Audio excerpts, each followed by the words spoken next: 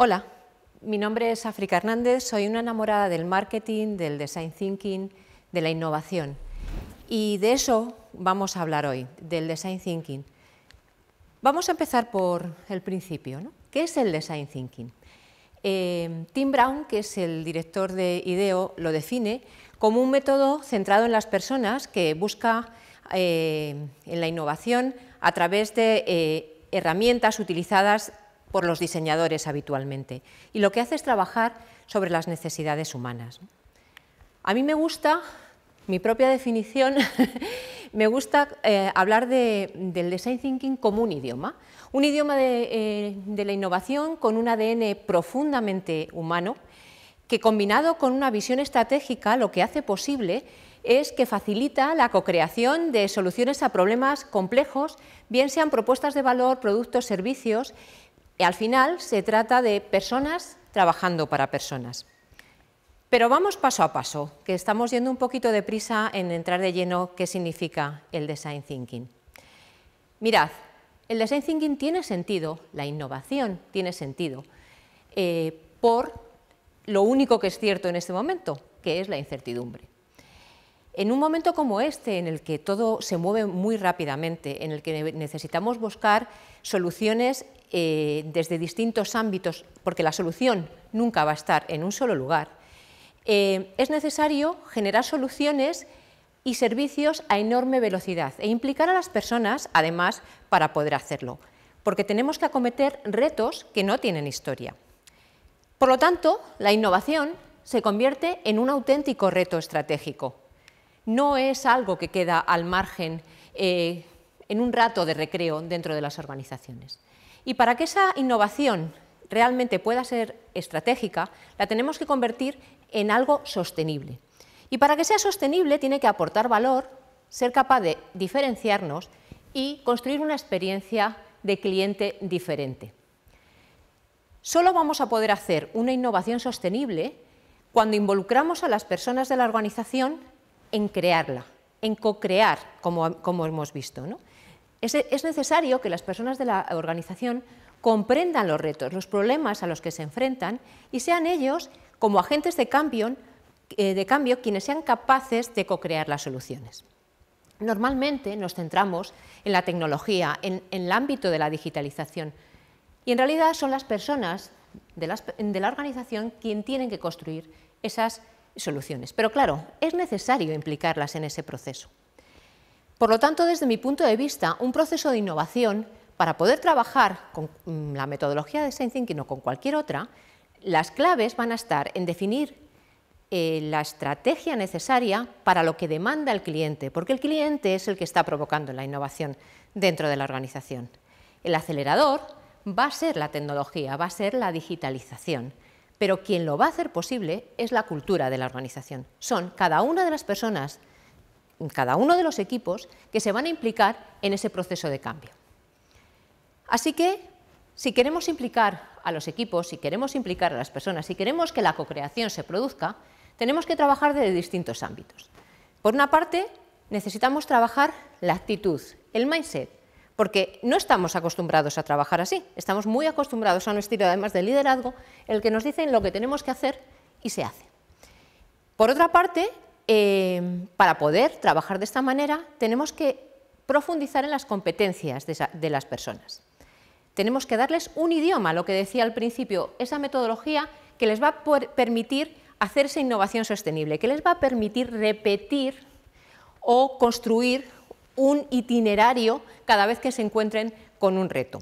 Y por otro lado, no basta con generar ideas, es absolutamente necesario llevarlo a la acción, tenemos que hacer que pase. Veréis, un ejemplo. ¿Tenéis boli o un lápiz? ¿Tenéis papel a mano?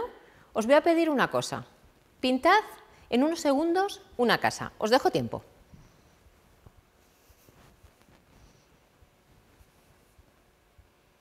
¿Ya? ¿La habéis dibujado? ¿Habéis pintado algo así? Me encantaría veros y pediros que levantaseis la mano para ver cuántos de vosotros habéis dibujado algo parecido a esto. Seguro que la mayoría. Y ahora os pregunto, cuando salís a la calle, ahora mismo, ¿cuántas casas os encontráis como esta? Pocas. o mejor dicho, casi ninguna, dependiendo del entorno. Pero la realidad es que es un reto que conocemos, es un problema que conocemos y estamos acostumbrados a resolverlo de la misma manera. Pues eso es lo que nos pasa en el día a día. Ante retos que conocemos, el cerebro, que es vago por naturaleza, tiende a repetir la solución. No nos dedicamos a profundizar en el problema que nos están planteando, ni si la situación en la que estamos viviendo ese nuevo reto o ese antiguo reto es diferente. Y eso es lo que nos pasa exactamente en el día a día. Por eso es necesario incorporar un proceso, una metodología que nos permita profundizar en los retos y buscar y co-crear soluciones diferentes. Y es lo que me gusta a mí llamar el design thinking en acción. Porque el design thinking en acción lo que permite es convertir a las personas en agentes de cambio y va a ser posible diseñar el cambio de manera colaborativa. Fijaos, ¿de dónde viene todo este lío? Este lío se inicia en los años 70, concretamente en el año 78 la consultora IDEO empieza a trabajar con la metodología de Design Thinking muy centrada en el conocimiento, como os decía, de las personas, en empatizar, en co-crear, y empieza haciéndolo con productos y servicios. De hecho, eh, bueno, pues, eh, está asociado al primer diseño del ratón de Apple que se hizo no fue la inventora del design thinking, pero sí que desde el año 78 ha profundizado, investigado, ha ido evolucionando y sobre todo ha divulgado la metodología. IDEO empezó muy, muy pegada a diseño de productos y servicios y, sin embargo, a lo largo del tiempo ha ido evolucionando hacia propuestas de valor diferentes y en este mismo, en este mismo momento está haciendo, por ejemplo, innovación social. ¿no? Este es el origen. Pero fijaos, esto tiene que ver con resolver problemas complejos co-creando, eh, facilita esa innovación estratégica, eh, significa crear un contexto y una cultura de, innovación, pero lo que es más importante son personas trabajando para personas, es decir, es una aproximación grupal para comprender qué es lo que necesitan las personas y buscar soluciones a esas necesidades. IDEO define el proceso eh, a través de cinco etapas, empatizar, definir, idear, prototipar y, y testear, pero a mí, desde el punto de vista de recuerdo y que estemos todos, eh, que sea más sencillo eh, recordar el itinerario, me gusta hablar de tres grandes etapas, que es investigación, ideación e implementación, tres IES. ¿Y en qué consiste este proceso de investigación, ideación e implementación? Pues que a lo largo de todo ese itinerario, en cada una de esas etapas, se trabaja de manera continua, abriendo y cerrando, abriendo y cerrando, el proceso de divergencia y convergencia. Es decir, ante un problema, creo, abro las posibilidades y opciones y a continuación elijo convergiendo y busco una solución. Fijaos, cuando esta mañana os habéis vestido, habéis ido al armario y habéis hecho divergencia y convergencia, es decir, habéis valorado todo lo que teníais en el armario para poneros y habéis elegido algo. El tema es que el cerebro esto lo hace de una manera muy rápida. Rápidamente pasa de la divergencia a convergencia y apenas se percibe, eh, se percibe esa diferencia. El design thinking lo que hace es crear la tensión en medio, es decir, primero se trabaja de manera diferenciada la divergencia y cuando tenemos muchas oportunidades, entonces sí elegimos, tomamos decisiones a través de la convergencia. ¿Qué hace esto? que el proceso sea mucho más rico. Si os imagináis una curva de Gauss, eh, si hacemos el proceso de divergencia y convergencia muy rápido, como os decía, el ejemplo del armario y la ropa, em, las soluciones siempre se van a centrar en la parte central de la curva de Gauss, es decir, como el ejemplo de la casa, siempre vamos a buscar soluciones que conocemos. Pero si obligamos a este proceso más lento de divergencia y convergencia, habrá elementos fuera de la curva de Gauss, en los extremos, que sean mucho más ricos y es ahí donde se construye la diferenciación, donde se construye la aportación diferente del proceso de design thinking. Para los que critican la metodología, es muy importante que sepamos que para trabajarla correctamente tenemos que centrarnos en tres ámbitos fundamentales. Y es que tiene que ser humanamente deseable la solución a la que lleguemos, tecnológicamente posible y económicamente viable. Porque si no, siempre nos reconocerán simplemente como esa dinámica en la que se utilizan POSIT y papelitos. fundamental el equilibrio entre lo humano, lo tecnológico y lo económico. Y vamos con el proceso. Fijaos, en la primera fase de innovación, eh, en la, primera fase de investigación, es fundamental los insights. ¿Y a qué me refiero con los insights? Este, eh, hay que identificar los hechos. Fijaos que se asemeja bastante a, la fase de investigación que puede ser eh, habitual en cualquier otro proceso de investigación de mercado. Pero además hay una parte de empatizar con lo que está sucediendo, es decir, con, con recoger elementos, insight, que no te cuenta el cliente. Aquí hay un ejemplo que me gusta utilizar, que es el de Kellogg's. Cuando Kellogg's intentó pasar del universo infantil al, adulto, se encontraron con que las mujeres apenas consumían cereales. Eh, Kellogg's contrató una consultora de Design Thinking y, además de la investigación tradicional en la que las mujeres decían que sí que les gustaban los cereales, pero la realidad es que no conseguían que estos cereales se consumiesen, vieron yendo a los hogares, yendo a algunos hogares eh, en el momento de desayuno, percibieron elementos, empatizaron con elementos que nunca habrían recogido a través de una encuesta o un focus group. Y es que las mujeres, en el momento de desayuno, casi ninguna se podía sentar. Pasaba la mitad del desayuno de pie. ¿Quién se toma un tazón de desayunos de pie? La investigación, por tanto, recoge no solamente lo que el cliente dice, en un focus o en una entrevista, sino que hay elemento de antropólogo en la fase de investigación. A continuación de la fase de ideación, y una, una, vez identificados los hechos, sobre eso construimos los retos. Y una vez que tenemos los retos, lo que hacemos es generar ideas. Independientemente de que en el mundo de la generación de ideas eh, partiendo del brainstorming, se utilizan diferentes técnicas, la clave dentro del design thinking no es tanto la generación de las ideas, que por supuesto lo es, sino en profundizar y conocer bien el reto, que es lo que no es habitual. Y os pongo otro ejemplo. Fijaos, eh, en un momento determinado los diseñadores de maletas se volvieron locos porque perseguían el reto de hacer maletas más ligeras. Bueno, durante mucho tiempo las maletas eh, iban, siendo cada vez más ligeras, había muchísima investigación en el tipo de material con el que se construía, pero fijaos, quien dio con la clave fue alguien no que quitó peso, sino que se lo puso. Es decir, alguien que le añadió ruedas. ¿Por qué? Porque realmente estaba comprendiendo el reto.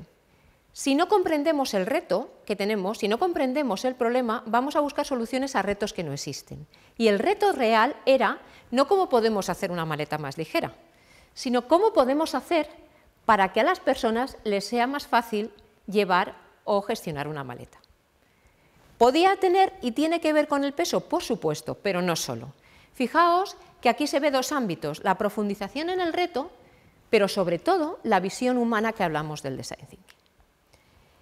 En ese proceso de ideación es muy importante trabajar muy bien la parte de divergencia. Significa que todas las ideas valen, por muy locas que sean. Significa que entre todas las personas que co-crean en ese momento, eh, no hay que rebatir ideas, no hay que enjuiciarlas. Es necesario construir sobre las ideas de otros. Y en esa fase inicial todo vale, porque una idea te puede llevar a otra, porque todo es replanteable, porque es interesante preguntarse ¿y si? No hay que aceptar desde el primer momento. A mí me gusta decir eh, que en la fase de ideación es fundamental empezar con el brainstorming, sea la técnica asociada que sea la que utilicemos de brainstorming. ¿Por qué? Disculpadme que lo exprese así, pero es como vomitar. Pensad que en un proceso de co-creación llevamos horas, mucho tiempo trabajando sobre el problema, sobre el reto, y en todo ese proceso y a través también de la investigación, lo que estamos haciendo es profundizar en lo que está pasando y de alguna manera tenemos que frenar esa generación de ideas porque ya están ahí. Por eso es muy importante empezar por el brainstorming. Eh, a partir de ahí podemos incorporar otra serie de técnicas de generación de ideas, pero empecemos por brainstorming porque ya tenemos dentro posibles propuestas. Fijaos, Tercera fase, implementación. Es muy importante y es algo que las empresas tradicionalmente con los productos y servicios no han sabido hacer, es muy importante prototipar la posible solución.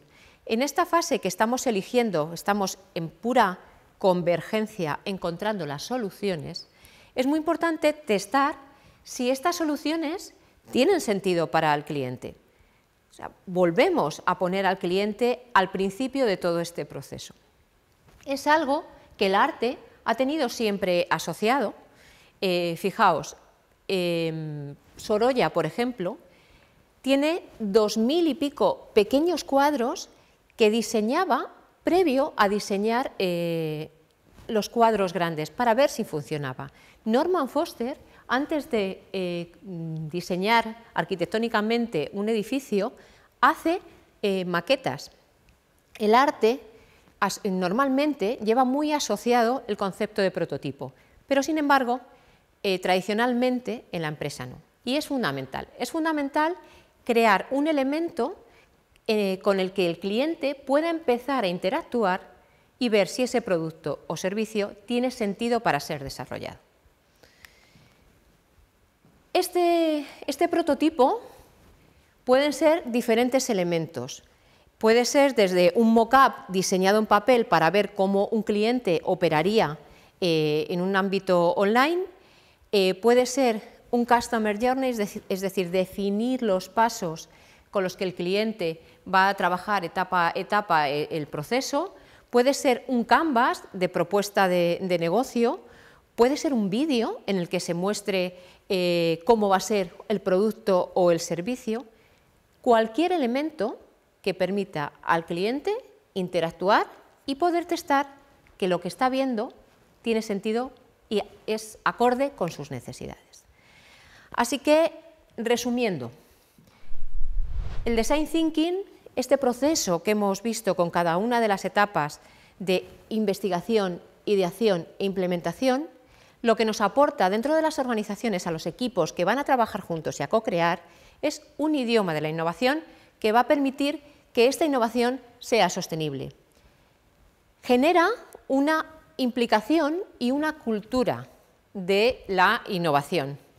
Va a permitir flexibilidad porque nos va a permitir ir aprendiendo durante el proceso e iterar.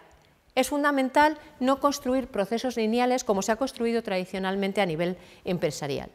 Y sobre todo, para que funcione, para que sea estratégicamente adecuado, es fundamental encontrar ese equilibrio entre lo humano, lo tecnológico y lo económico. Y por último, no olvidemos que la innovación tiene que ver con la cultura de explotar y explorar. ¿Qué significa eso? Mirad, hay un experimento que se lleva haciendo más de 25 años en Estados Unidos, en el que ponen eh, a los niños eh, con una cámara y les dan un, una masmelo, un, caramelo, y se lo dejan encima la mesa, encima de la mesa. Y les dicen, mirad, si dentro de tres minutos no te has comido este caramelo, te traeré otro. Hay niños que no son capaces de resistirlo y se lo comen. Y hay otros niños que tienen la visión de saber que va a venir otro después. La innovación tiene que ver con esto último. Tiene que ver con saber trabajar el explota, es decir, eso que nos aprieta el zapato y que necesitamos eh, hacer y solucionar para el negocio de hoy, pero también pensar en qué va a pasar y, por lo tanto, prepararnos para el futuro, prepararnos para las soluciones a otros retos eh, que no son inmediatos. Por mi parte nada más, os animo a que exploréis, a que co-creéis, a que hagáis pruebas, no pasa nada. Muchas gracias.